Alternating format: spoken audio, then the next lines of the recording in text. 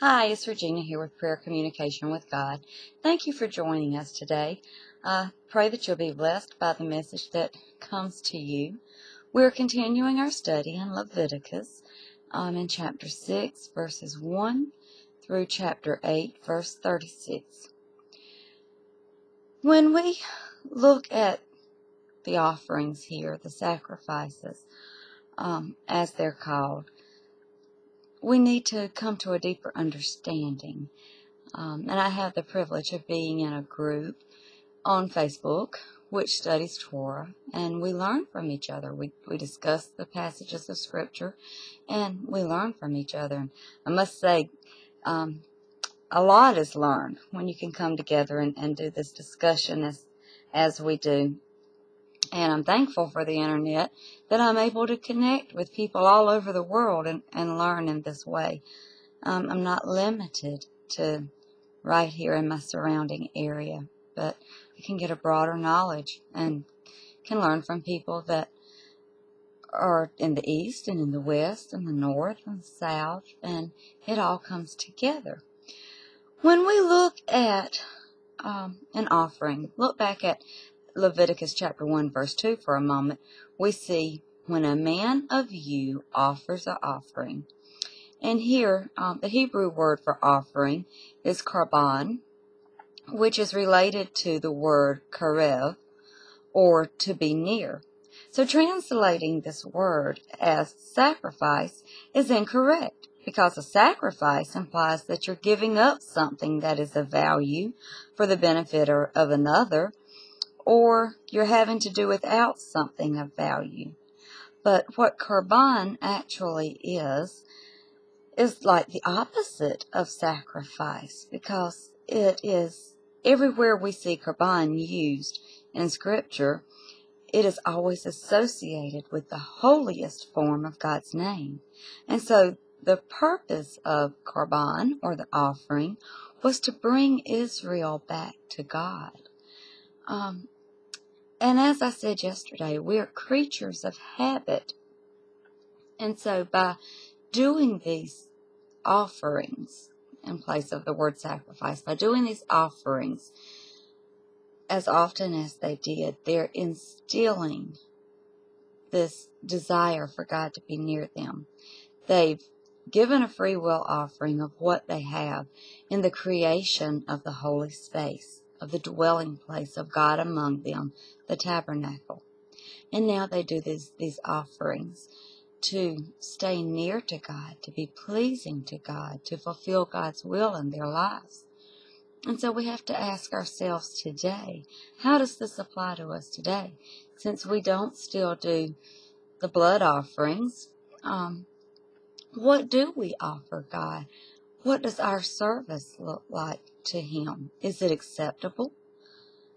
How do we treat ourselves? How do we talk to ourselves? If you're putting yourself down, if you're constantly looking at what you think is a flaw and not loving on yourself, not telling yourself how much you love yourself, then how can we say that our offerings are, are what God desires? I believe what God desires is for us to choose to serve Him to the fullest extent that we can and even beyond. And one might say, how can we go beyond our own limitations? We have boundaries that we can't go across. It's like someone's drawn a line in the sand and says, you can't step over this line. But if we look back through Scripture, we see all throughout Scripture that all things are possible with God. If God calls you to a purpose, if He calls you to do something, He's going to provide the way for you to do it. It may take you across that imaginary line in the sand, get you outside of your comfort zone, but He will provide a way for you to do it. He just simply asks that we trust Him. Trust Him with all of our fiber with every cell of our being. He created us, and His desire is for us to choose Him. It's all about choice. There's 613 commandments in the Old Testament. Um, not each of these commandments apply to each of us as individuals. Some are just for men, some are just for women, some are just for the priest, and some are there for all of us. Um, the dietary laws and, and things as that. Now we learn in the New Testament that we don't have to keep the dietary laws. There are certain commandments we don't have to keep. And I really put emphasis on have to. Because no, you don't have to do it in order to to get close with God. But if you choose to keep these laws, then it's going to draw you nearer to God. That's what these commandments are for. Just as these offerings in Leviticus were put in place to draw Israel closer to God. The commandments that we find that for most of our lives we've been taught we don't have to keep, um, that they're too hard to keep. They're not as hard as we think. It's a choice. We don't like change, but until we change our mindset and until we step outside of that comfort zone and we choose whichever choice we're going to make, we're not going to have that closeness with God. Each of these things here are here to draw us into a more intimate relationship with God. Think about your relationship with your spouse versus your relationship with your children. Both are intimate relationships, but the one with your spouse is a different kind of intimate relationship. It's, it's a closeness where two become as one. And this is the relationship that God desires to have with us. He wants us to become one with Him, not by force, not by being fearful of being sent to hell's fire, but because we love Him and because He loves us. He wants us to choose to love Him, to choose to keep His commandments, and to choose to be in that oneness with Him. So I'll leave it to you. I, I, don't try to persuade you. I don't try to convert you. Um, and I'm not going to point out any flaws. I'm not going to sit here and say, you should be doing this or you should not be doing that. I'm just simply going to tell you what God tells you. The choice is yours and yours alone to make. No one can make it for you. Not your mother, not your father, not your grandmother, not your children, your pastor, none of the people in your congregation. This has to be an individual choice for you. If you so choose to keep these commandments, the ones that you don't have to keep, but the ones that are there for your choosing, then you will be blessed. I, I can't say any different from my own personal experience. Once I came to start studying and start learning about these commandments and made my own mind up and followed the leading of my heart to start honoring the Sabbath and keeping it holy. To start trying to go by the, the dietary laws. Um, once I started even considering, even before I put in the action to it, but once I just started considering keeping these commandments, I could see a change in my relationship with God. I didn't feel like there was this huge gaping valley in between two mountain peaks, but it was a, a bridging of the two mountains coming together. And, and it is this bridging it, that came about through choice, through a personal choice that I made, a personal choice that you can make. And I encourage you today to be mindful, to be thoughtful of the way you think, to be thoughtful of the actions that you take, because God's Word tells us, Jesus tells us, you can't serve two masters. You're going to love one or you're going to hate the other. And we have a spiritual self and we have a physical self, and they're a mirror image of one another.